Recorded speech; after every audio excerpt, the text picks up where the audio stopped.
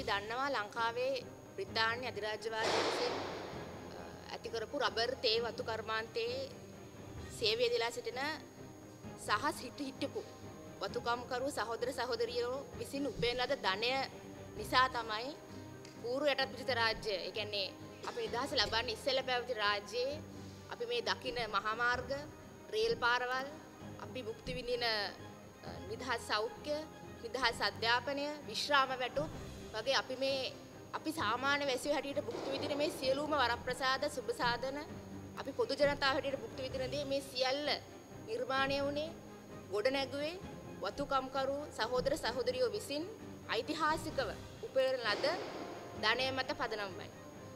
එයට ප්‍රතිඋපකාර දක්වනවා වෙනුවට 1948 පුරවැසි පනත මගින් අපි සිද්ධ කළේ වතුකරු වතුකම්කරු ජනතාවගේ පුරවැසි අයිතිවාසිකම් පවා අහෝසි කරමින් ඔවුන් ඉතාමත් කූර ලෙස ලංකාවේ රාජ්‍යයෙන් බැහැර කිරීමයි.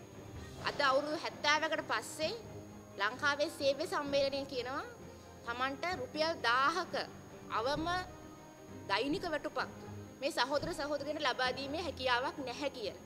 ඉතින් අපි අහන්න කැමතියි මේ අවුරුදු 100කට වඩා අවුරුදු 70කට වඩා නිදහස් රාජ්‍යය තුල මොකද්ද මේ සේව්‍ය සම්මේලනයේ වතු හිමියන් මෙච්චර කල් කරලා තියෙන්නේ?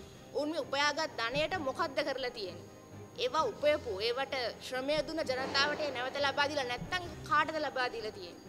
ඉතින් ජනානසක ව්‍යාපාරයේ හැටියට සමානාත්මතාවය වෙනුවෙන් ආර්ථික යුක්තිය වෙනුවෙන් පෙනී සිටින ව්‍යාපාරයක් හැටියට අපි ඉතාමත් දැඩිව කියනවා මේ ජනතාවගේ රුපියල් 1000ක ඉල්ලීම ඉතාමත් සාධාරණයි යුක්ති සහගතයි ඒ ඉල්ලීම දිනා ගන්න අතුරු ඔවුන්ට ඓතිහාසිකව අහිමි කරන ලද සමානාත්මතාවයේ පුරවැසිභාවයේ අයිතිවාසිකම් නැවත දිනා ගන්න අතුරු අපි මේ අරගලයේ සමග සිටිනවා.